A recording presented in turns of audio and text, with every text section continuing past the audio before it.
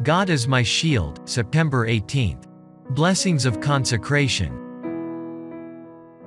Every word of God is pure. He is a shield unto them that put their trust in him. Proverbs chapter 30 verse 5. God's commandment keeping people stand under the broad shield of omnipotence. He that dwelleth in the secret place of the Most High shall abide under the shadow of the Almighty. I will say of Jehovah, He is my refuge and my fortress, my God, in whom I trust. For he will deliver thee from the snare of the fowler, and from the deadly pestilence. He will cover thee with his pinions, and under his wings shalt thou take refuge. His truth is a shield and buckler.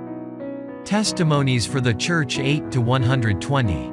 Our God has heaven and earth at his command, and he knows just what we need. We can see only a little way before us, but all things are naked and opened unto the eyes of him with whom we have to do. Above the distractions of the earth he sits enthroned.